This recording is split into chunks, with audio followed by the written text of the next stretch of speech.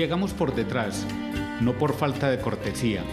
Es que llegar al ecoparque Mirador Cerro El Picacho es más fácil por los rieles que descienden desde la carretera a San Pedro, siempre con el Cristo de espaldas.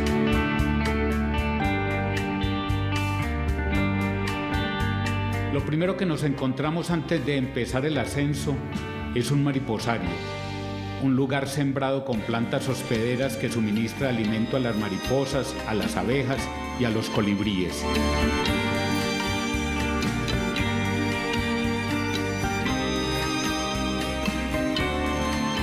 En el comienzo del sendero que conduce a la cima, que está a 2.100 metros sobre el nivel del mar, hay un primer mirador, donde queda la administración del cerro, la cual es responsabilidad de la Secretaría de Medio Ambiente del municipio de Medellín, pues desde 1986 es zona de reserva natural con una extensión cercana a las 41 hectáreas.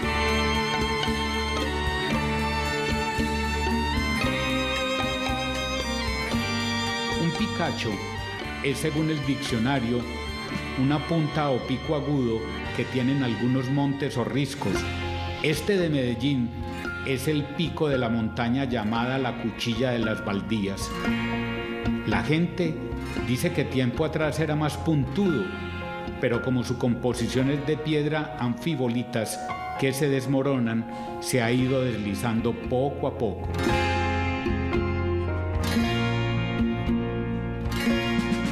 La idea de instalar en el Picacho un Cristo de dos metros y medio fue de Monseñor Félix Henao Botero, quien fuera el fundador de la Universidad Pontificia Bolivariana.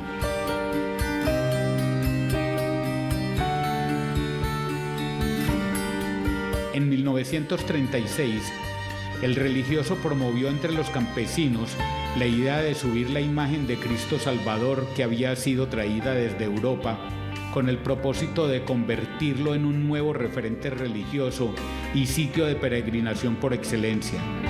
En ese entonces no existían las escalas. Para la época tuvieron que subirlo por pedazos y con lazos.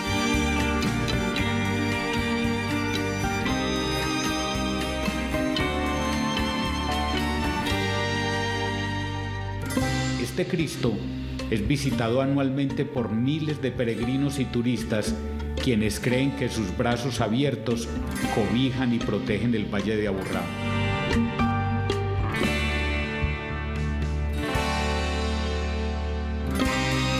Es un espectáculo, la vista que ofrece este lugar hacia el Valle de Aburrá, un verdadero cerro tutelar.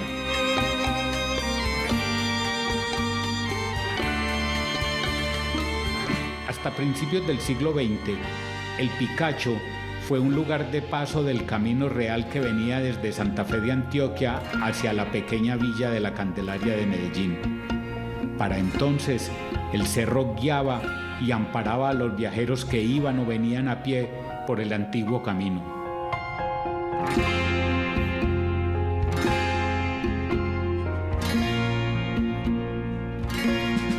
Cuando todo pase, la familia entera podrá venir de paseo al Picacho. Aquí encontrarán guías que les acompañarán en los recorridos por los diferentes senderos. Durante las caminatas ecológicas les indicarán las 59 especies arbóreas que existen, divisarán los diferentes paisajes de la ciudad y hasta podrán avistar algunas de las 46 especies de aves que habitan en el cerro.